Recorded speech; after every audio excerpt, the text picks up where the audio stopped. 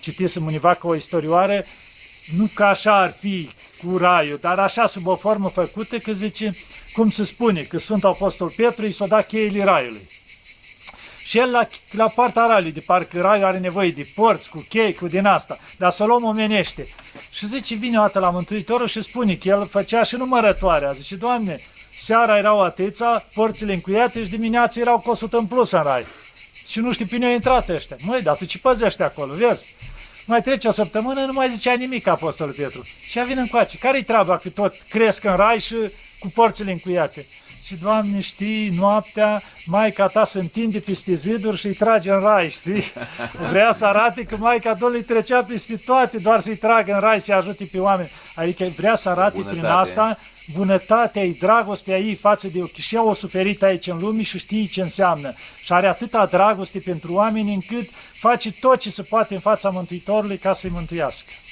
Vă dați seama ce împărăteasă avem. De ce diavolul la toți, la sectari, la protestanți, la toți ăștia, ce-au făcut? Le-au luat armele cele mai puternice. Sfânta Cruce, care spune că omul când face cruce se cutremură iadul, fug toți diavolii. Deci atâta putere. Zice, chiar peste o apă cu microbi, dacă ai făcut cruce, zice, dispar microbi. S-o proba și științific, adică ce putere are.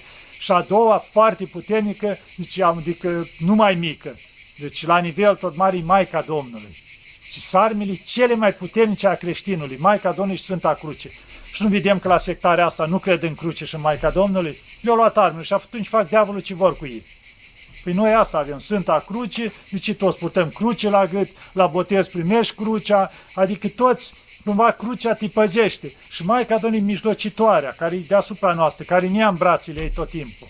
Deci Maica Domnului, astea sunt armele noastre cele mai puternice. Și de asta spun, să nu existe casă, să nu aibă crucea în casă și să nu aibă icoană cu Maica, Maica Domnului cu candela aprinsă.